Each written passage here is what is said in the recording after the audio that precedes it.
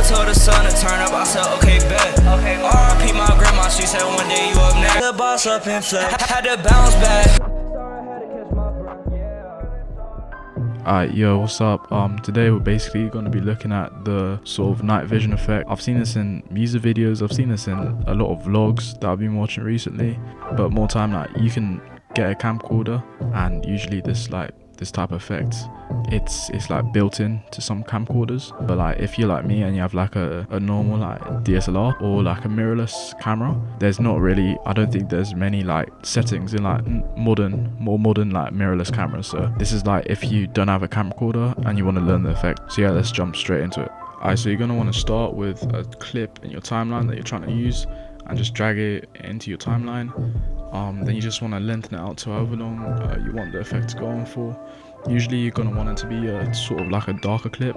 Um, that's when the the night vision effect works best. You're going to want to drag the green background onto it um, on top of it and just delete any unnecessary audio and just make sure it's all like um, it's all the same length um, change the green background to the color type of composite mode or blender mode. Just play around with whatever program you're using and whichever blend mode works best. I played around i tried changing the opacity to make it look more realistic.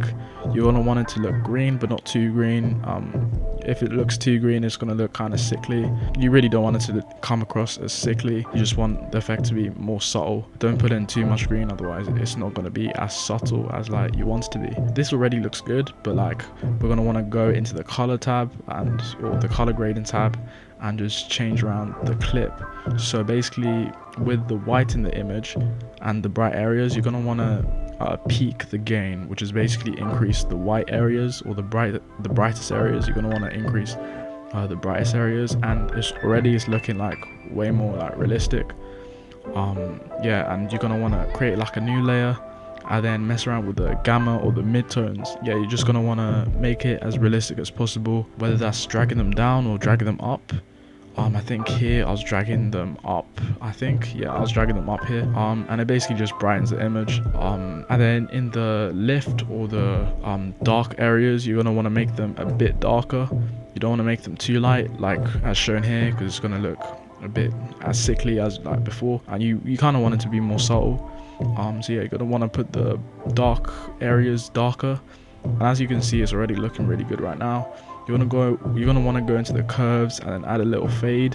Um it's looking kind of bright so you're going to want to um not drag it up too much. Then you're going to want to um, brighten the middle of it a bit you know so we get this sort of effect. And as you can see from the before and after it's already looking pretty good. And that's basically us done.